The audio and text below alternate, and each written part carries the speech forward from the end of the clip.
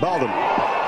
Went across too far, Tim Southee. Mohamed Shami. Been uh, looking around to see those two fielders there, deep fine leg and uh, a deep square leg. So he moved across, anticipating the short ball. Instead, Mohamed Shami bowls the fuller length, almost a Yorker, and knocks back the leg stump. He's got a wicket at last, uh, Mohamed Shami. That of Tim Southee.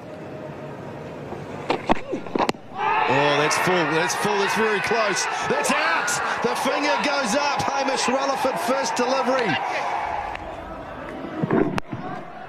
He's been hit on the back pad, not the front pad. Now that is what would have swayed the decision in the bowler's favour. Hamish Rutherford departs for zero. New Zealand one for one. Gone. He's hit it in the air, straight to the man at short cover. Mohammed Shami has picked up another. And Peter Fulton has now been dismissed. So both openers gone cheaply and early.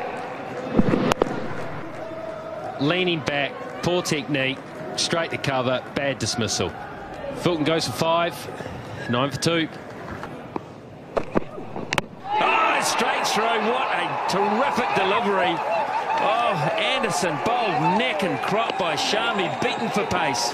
Tremendous length, hitting the top of off, just jagging back a little bit. Corey Anderson had a big gap between his bat and pad.